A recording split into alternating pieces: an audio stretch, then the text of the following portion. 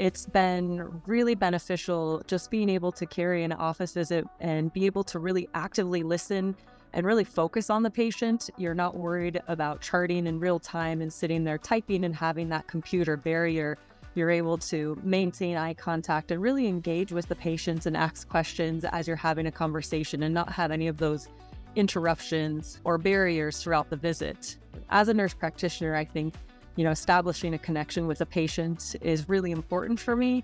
And this has really been able to enable us to help the patient to feel very listened to, feel very heard, and have a better experience as well. Personally, DAX Copilot is impacting me by helping me maintain a better work life balance.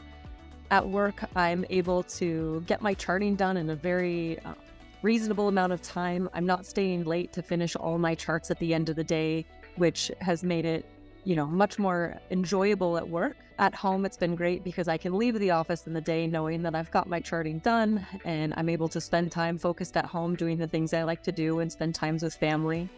I think it's really reduced the burnout related to to charting.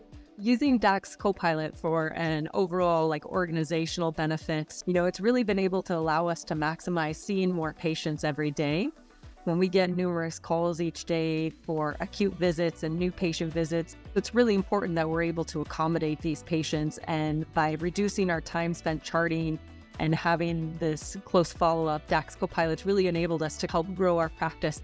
I've had a lot of positive reactions with patients and and how it's able to really help us with that connection during an office visit. In one word, to sum up my practice with DAX Copilot, I would probably say revitalized.